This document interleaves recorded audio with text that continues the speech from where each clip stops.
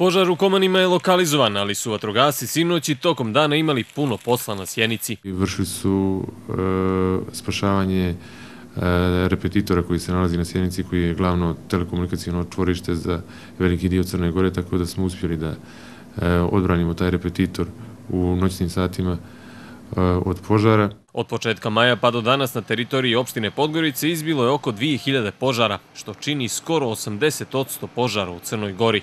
Zbog toga služba zaštite Podgorica ima ogromne troškove. Možemo slobodno reći da e, ti troškovi koji se tiču znači samo od 1. maja do danas e, prevazilaze nekoliko stotina hiljada eura. Čak možemo reći da ta cifra ide i pa oko 500 hiljada eura za troškove samo službe zaštite na teritoriji glavnog grada. Ako se saberu troškovi službi zaštite, te milioni koji su otišli zajedno sa uništenim šumama, dođe se do zaključka da požari puno koštaju građane. Tu se stvarno sistem mora e, poboljšati u smislu prevencije.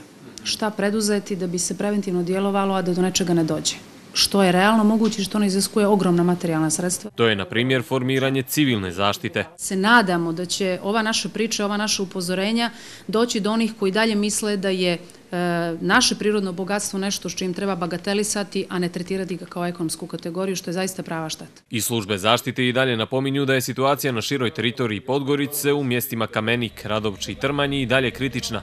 Nadaju se da će pasti kiša, ali smatruju da će ta pomoć biti samo kratkog daha i da se već mora razmišljati kako protiv vatre narednog ljeta.